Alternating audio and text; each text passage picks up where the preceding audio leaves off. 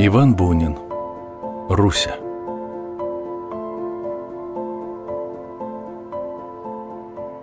В одиннадцатом часу вечера скорый поезд Москва-Севастополь остановился на маленькой станции за Подольском, где ему остановки не полагалось, и чего-то ждал на втором пути.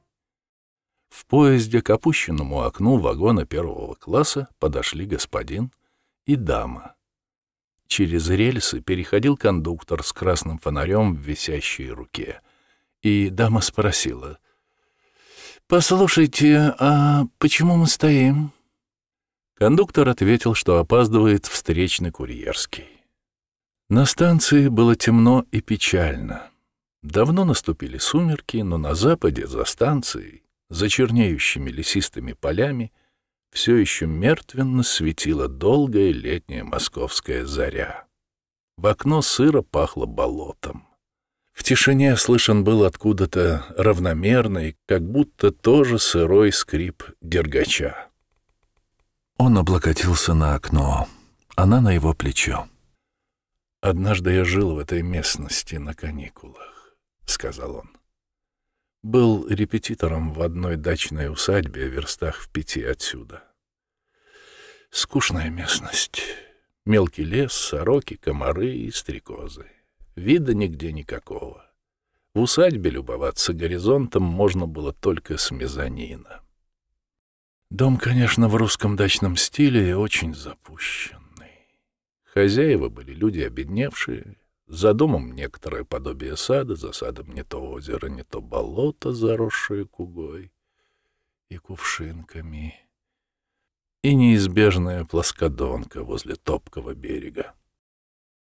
И, конечно, скучающая дачная девица, которую ты катал по этому болоту. Да, все как полагается. Только девица была совсем не скучающая. Катал я ее всего больше по ночам. И выходило даже поэтично. На западе небо всю ночь зеленоватое, прозрачное, и там на горизонте, вот как сейчас, все что-то тлеет и тлеет. Весло нашлось только одно, и то вроде лопаты. И я греб им, как дикарь, то направо, то налево. На противоположном берегу было темно от мелкого леса, но за ним всю ночь стоял этот странный полусвет. И везде невообразимая тишина, только комары ноют и стрекозы летают. Никогда не думал, что они летают по ночам. Оказалось, что зачем-то летают. Прямо страшно. Зашумел, наконец, встречный поезд, налетел с грохотом и ветром, слившись в одну золотую полосу освещенных окон, и пронесся мимо. Вагон тотчас тронулся, проводник вошел в купе, осветил его и стал готовить постели. «Ну, и что же у вас с этой девицей было? Настоящий роман? Ты почему-то никогда не рассказывал мне о ней». Какая она была? Худая, высокая. Носила желтый ситцевый сарафан и крестьянские чуньки на босу ногу, плетенную из какой-то разноцветной шерсти. Тоже, значит, в русском стиле. Думаю, что больше всего в стиле бедности. Не во что одеться, ну и сарафан. Кроме того, она была художница, училась в Строгановском училище живописи. Да она и сама была живописна, даже иконописная. Длинная черная коса на спине, смуглое лицо с маленькими темными родинками, узкий правильный нос, черные глаза, черные брови. Волосы сухие и жесткие, слегка курчавились. Все это при желтом сарафане и белых кисейных рукавах сорочки выделялось очень красиво. Лодыжки и начало ступней в чуньках. Все сухое, с выступающими под тонкой смуглой кожей костями. Я знаю этот тип. У меня на курсах такая подруга была. Истеричка должно быть. Возможно. Тем более, что лицом была похожа на мать. А мать родом какая-то княжна с восточной кровью, страдала чем-то вроде черной меланхолии. Выходила только к столу. Выйдет, сядет и молчит, покашливает, не поднимая глаз, и все перекладывает то нож, то вилку. Если же вдруг заговорит, то так неожиданно и громко, что вздрогнешь. А отец тоже молчаливый и сухой, высокий, отставной военный. Простый, мил был только их мальчик, которого я репетировал. Проводник вышел из купе, сказал, что постели готовы, и пожелал спокойной ночи. «Как ее звали?» «Руся». «Это что же за имя?» «Очень простое, Маруся». «Ну и что же, ты был очень влюблен в нее?» «Конечно». Казалось, что ужасно. «А она?» Он помолчал и сухо ответил. «Вероятно, и ей так казалось». Но пойдем спать. Я ужасно устал за день. Очень мило, только даром заинтересовал. Ну, расскажи хоть в двух словах, чем и как ваш роман кончился. Да ничем. Уехал и дел конец. Почему же ты не женился на ней? Очевидно, предчувствовал, что встречу тебя. Нет, серьезно? Ну, потому что я застрелился. А она закололась кинжалом. И, умывшись и почистив зубы, они затворились в образовавшейся тесноте купе, разделись и с дорожной отрадой легли на свежее глинцевитое полотно простынь и на такие же подушки, все скользившее с приподнятого изголовья. Синий лиловый глазок над дверью тихо глядел в темноту. Она скоро заснула. Он не спал, лежал, курил и мысленно смотрел в то лето.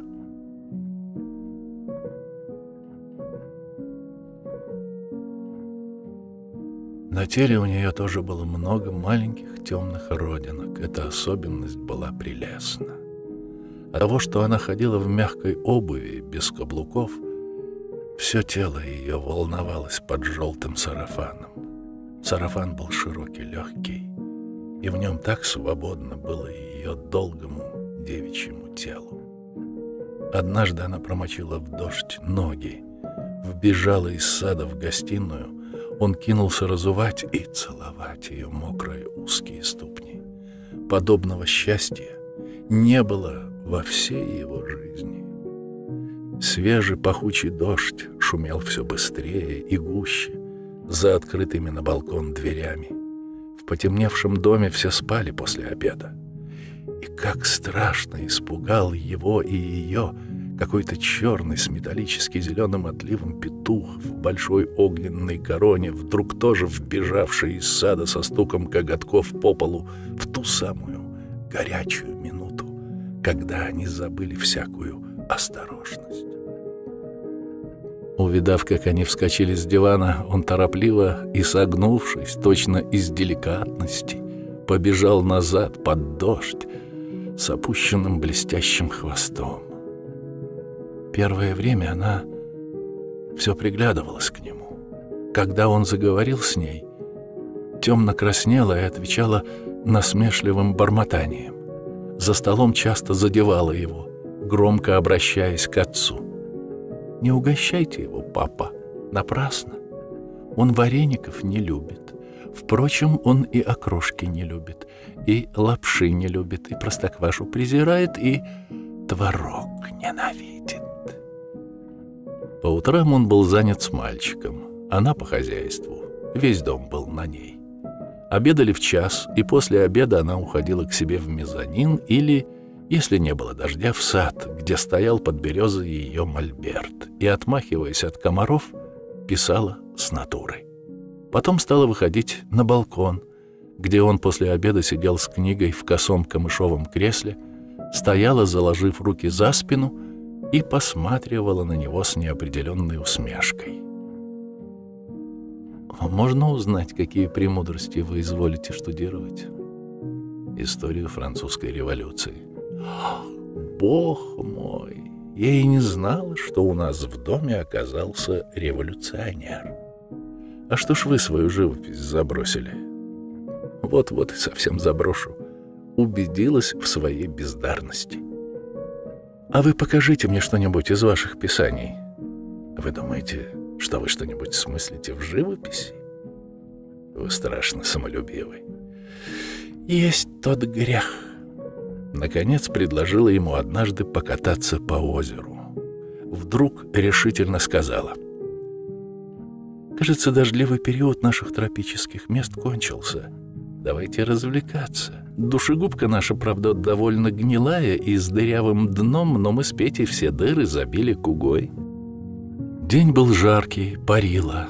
Прибрежные травы, испещренные желтыми цветочками куриной слепоты, были душно нагреты влажным теплом, и над ними низко велись несметные бледно-зеленые мотыльки.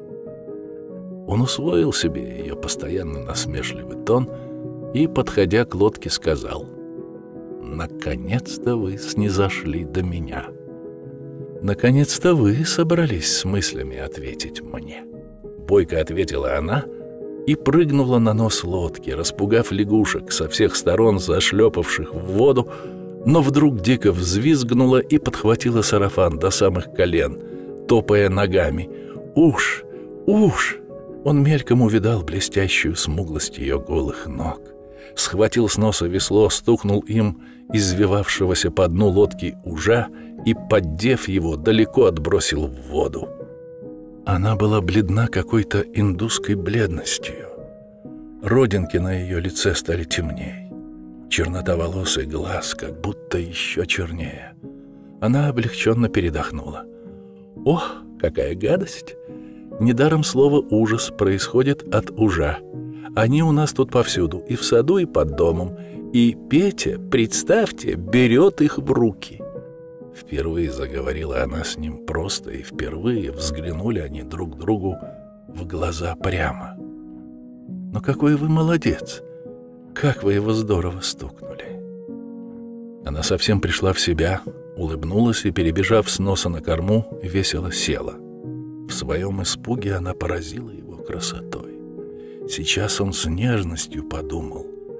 Да она совсем еще девчонка но, сделав равнодушный вид, озабоченно перешагнул в лодку и, упирая веслом в студенистое дно, повернул ее вперед носом и потянул по спутанной гуще подводных трав на зеленые щетки куги и цветущие кувшинки, все впереди покрывавшие сплошным слоем своей толстой круглой листвы. Вывел ее на воду и сел на лавочку посередине, гребя направо и налево. «Правда, хорошо», — крикнула она. «Очень», — ответил он, снимая картуз, и обернулся к ней. «Будьте добры кинуть возле себя, а то я смахну его в это корыто, которое, извините, все-таки протекает и полно пиявок». Она положила картуз к себе на колени. «Да не беспокойтесь, киньте, куда попало». Она прижала картуз к груди. «Нет, я его буду беречь». У него опять нежно дрогнуло сердце, но он опять отвернулся и стал усиленно запускать весло в блестевшую среди куги и кувшинок воду. К лицу и рукам липли комары. Кругом все слепило теплым серебром. Парный воздух, зыбкий солнечный свет, курчавая белизна облаков, мягко сиявших в небе и в прогалинах воды среди островов из куги и кувшинок. Везде было так мелко, что видно было дно с подводными травами. Но оно как-то не мешало той бездонной глубине, в которую уходило отраженное небо с облаками. Вдруг она опять взвизгнула, и лодка повалилась на бок. Она сунула с кормы руку в воду и, поймав стебель кувшинки, так рванула его к себе, что завалилась вместе с лодкой. Он едва успел вскочить и поймать ее подмышки. Она захохотала и, упав на корму спиной, брызнула с мокрой руки прямо ему в глаза. Тогда он опять схватил ее и, не понимая, что делает, поцеловал в хохочущие губы. Она быстро обняла его за шею и неловко поцеловала в щеку. С тех пор они стали плавать по ночам. На другой день она вызвала его после обеда в сад и спросила, «Ты меня любишь?» Он горячо ответил, помня вчерашние поцелуи в лодке. «С первого дня нашей встречи. И я», — сказала она. «Нет, сначала ненавидела. Мне казалось, что ты совсем не замечаешь меня. Но, слава богу, все это уже прошлое. Нынче вечером когда все улягутся, ступай опять туда и жди меня. Только выйди из дому как можно осторожнее. Мама за каждым шагом моим следит, ревнива до безумия. Ночью она пришла на берег с пледом на руке. От радости он встретил ее растерянно, только спросил, «А плед зачем?» «Какой глупый, нам же будет холодно. Ну, скорее, садись и греби к тому берегу». Всю дорогу они молчали. Когда подплыли к лесу на той стороне, она сказала, «Ну вот, теперь иди ко мне. Где плед? Ах, он подо мной. Прикрой меня. Я озябла. И садись. Вот так. Нет, погоди. Вчера мы целовались как-то бестолково. Теперь я сначала сама поцелую тебя. А ты обними меня везде». Под сарафаном у нее была только сорочка. Она нежно, едва касаясь, целовала его в края губ. Он с помутившейся головой кинул ее на корму. Она иступленно обняла его. Полежав в изнеможении, она приподнялась и с улыбкой счастливой усталости, еще не утихшей боли, сказала. «Теперь мы муж с женой. Мама говорит, что она не переживет моего замужества. Но я сейчас не хочу об этом думать. Знаешь, я хочу искупаться. Страшно люблю по ночам. Через голову она разделась, забелела в сумраке всем своим долгим телом и стала обвязывать голову косой, подняв руки, показывая темные подмышки и поднявшиеся груди, не стыдясь своей ноготы и темного мыска под животом. Обвязав, быстро поцеловала его, вскочила на ноги, плашмя упала в воду, закинула голову назад и шумно заколотила ногами. Потом он спеша помог ей одеться и закутаться в плед. В сумраке сказочно были видны ее черные глаза и черные волосы, обвязанные косой. Он больше не смел касаться ее, только целовал ее руки и молчал от нестерпимого счастья. Все казалось, что кто-то есть в темноте прибрежного леса, молча тлеющего кое-где светляками. Стоит и слушает. Иногда там что-то осторожно шуршало. Она поднимала голову. «Постой! Что это?» «Не бойся. Это верно лягушка выползает на берег. Или еж в лесу. А если козерог?» Какой козерог? Я не знаю. Но ты только подумай. Выходит из лесу какой-то козерог. Стоит и смотрит. Мне так хорошо. Мне хочется болтать страшные глупости. И он опять прижимал к губам ее руки. Иногда, как что-то священное, целовал холодную грудь. Каким совсем новым существом стала она для него и стоял негаз за чернотой низкого леса зеленоватый полусвет, слабо отражавшийся в плоско белеющей воде вдали. Резко, сельдереем пахли росистые прибрежные растения, таинственно, просительно ныли невидимые комары и летали-летали с тихим треском над лодкой и дальше над этой по-ночному светящейся водой страшные бессонные стрекозы и все где-то что-то шуршало, ползло, пробиралось. Через неделю он был безобразно, с позором, ошеломленный ужасом совершенно внезапной разлуки, выгнан из дому. Как-то после обеда они сидели в гостиной и, касаясь головами, смотрели картинки в старых номерах Нивы. «Ты меня еще не разлюбила?»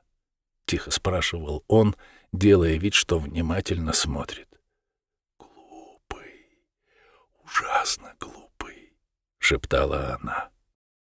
Вдруг послышались мягко бегущие шаги, и на пороге встала в черном шелковом истрепанном халате и истертых софьяновых туфлях ее полоумная мать. Черные глаза ее трагически сверкали. Она вбежала как на сцену и крикнула. «Я все поняла. Я чувствовала, следила. Негодяй, ей не быть твоею». И, вскинув руку в длинном рукаве, оглушительно выстрелила из старинного пистолета, которым Петя пугал воробьев, заряжая его только порохом. Он в дыму бросился к ней, схватил ее цепкую руку. Она вырвалась, ударила его пистолетом в лоб, в кровь рассекла ему бровь, швырнула им в него и, слыша, что по дому бегут на крик и выстрел, стала кричать с пеной на сизых губах еще театральнее. «Только через мой труп перешагнет она к тебе. Если сбежит с тобой, в тот же день повешусь. Брошусь с крыши, негодяй, вон из моего дома. Марья Викторовна, выбирайте, мать или он». Она прошептала «Вы, вы, мама».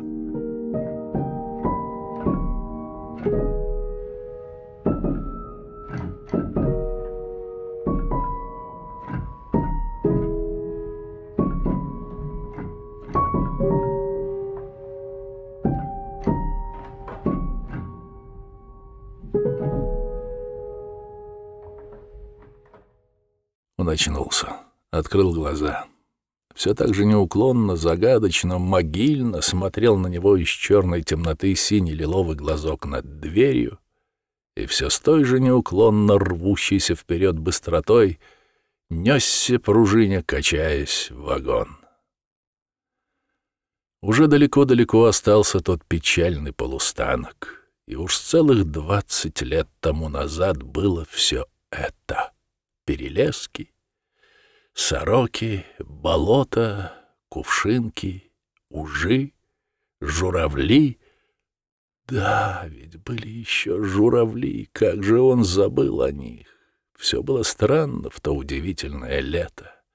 Странная пара каких-то журавлей, откуда-то прилетавших от времени до времени на прибрежье болота, и то, что они только ее одну подпускали к себе — и, выгибая тонкие длинные шеи, с очень строгим, но благосклонным любопытством смотрели на нее сверху, когда она, мягко и легко разбежавшись к ним в своих разноцветных чуньках, вдруг садилась перед ними на корточки, распустивший на влажной и теплой зелени прибрежье свой желтый сарафан — и с детским задором заглядывала в их прекрасные и грозные черные зрачки, узко схваченные кольцом темно-серого райка.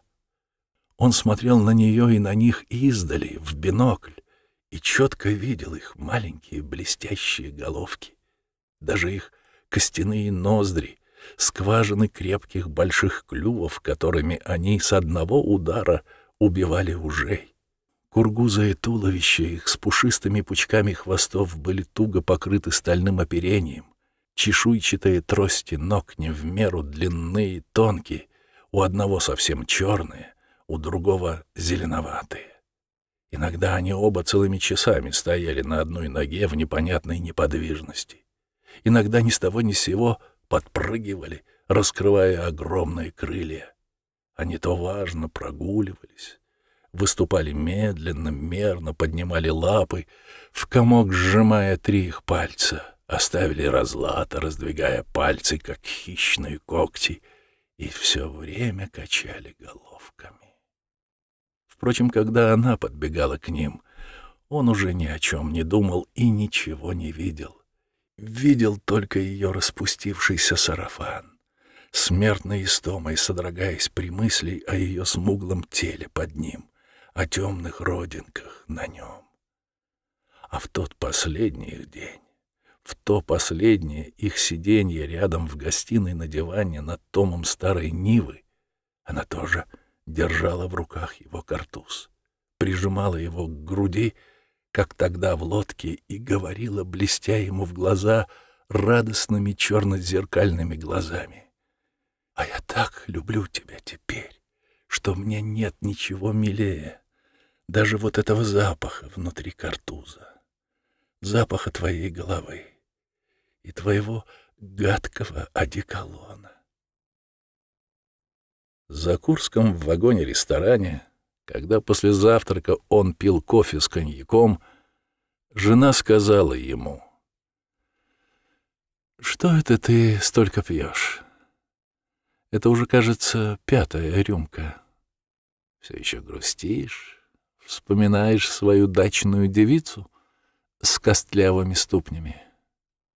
«Грущу, грущу», — ответил он, неприятно усмехаясь. «Дачная девица».